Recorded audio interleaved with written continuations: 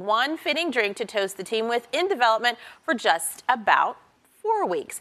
And the man behind that beer, Nick Ostapczuk, head brewer for Porchlight, with me now live to introduce us all to Illuminate. Nick, good morning.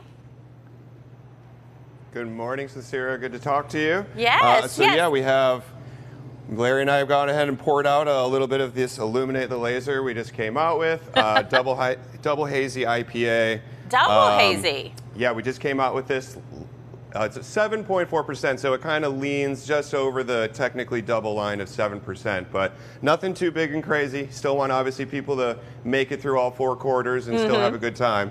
um, but essentially, we took our, our flagship Lazer Blowfish and just kind of doubled down on it. We obviously talked about the pandemonium of the Kings and everything going on and the beam being lit so many times this year. We thought, what can we do? And we are like, well, we have, you know, this Zeppelin like blowfish kind of already wreaking havoc on downtown Sacramento. We thought, nice. what about if we plug the Golden One Center into it, uh-huh. made the beam purple, and just kind of had some fun with you know something that we had already created.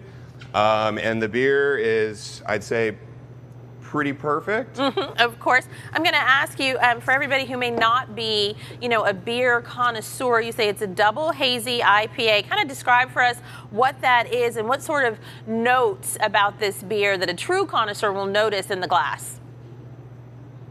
Sure. So um, starting from the top, double basically is just implying that, you know, it's a higher ABV. 7% has kind of become in a not totally nailed down world of what's a double, what's uh, imperial. Um, that 7% is pretty much the standard for if you say a double, you know you're not getting a light beer. Okay. Um, hazy um, being the newer kind of style of, you know, taking what was the West Coast IPA, very crisp, clean, piney, um, and kind of taking a different approach to the way that the hops are utilized and having it be more fluffy, more soft and juicy. Oh. Um, which makes it a bit more approachable to a different kind of uh, uh, crowd, but they each have their own things, um, and they're uh, so the IPA obviously also then just you know that it does have quite a bit of floral and hops and juiciness kind of going on to it. So sounds pretty uh, good. This one specifically, um, we used ca- uh, Citra, Cashmere, Idaho Gem, and Mandarina Bavaria. All together, you get a lot of citrus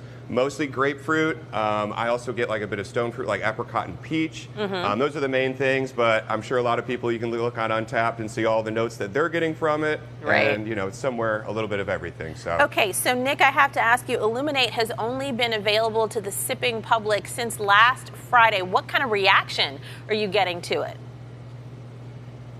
Uh, I would say it's the kind of reaction that makes you really happy as a brewer. um, a friend of mine once said it's really fun to make beer, but it's a whole different thing to be able to sell quite a bit of it. Um, and this beer is one that we, um, we, it's one of those we wish we had made more. Um, obviously, we're going to get Lazer Blowfish and some other of our staples back out for the rest of the playoffs. Um, but we had it, I believe, it's about 85% of these beers were sold before we even packaged it. Whoa. So um, we've got a lot of it has already gone out to, um, you know, a lot of the our typical markets, the the Sac Co-ops, the Corti Brothers, the mm-hmm. uh, Curtis Park Markets, as well as Raley's, Fair Oaks took a bunch, Total Wine's getting a lot.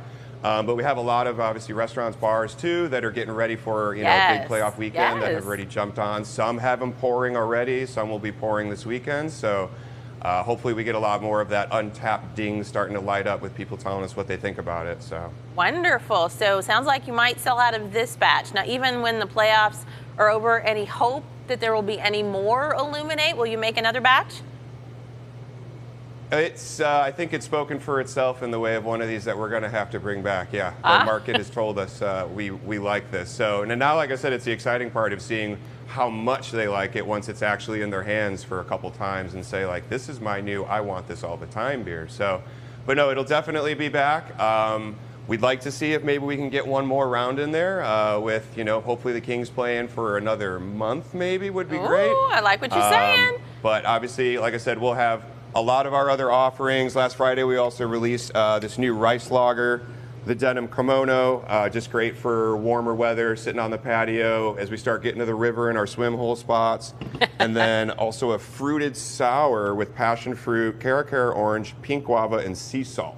Wow. Um, so just some of the other things that you know we're putting them into as we finally have broken into a Sacramento spring a bit officially. So Yes, officially, and people will be illuminated this weekend, drinking your new taste, celebrating the Kings, and hopefully, as you just said, I'm going to uh, say you made the prediction with the Kings playing for another month. All of our fingers are crossed for that. Thank you so much, Nick from Porchlight, sharing the new Illuminate beer, lighten up the beam in your glass for the Kings and the playoffs. We appreciate you. Thanks so much.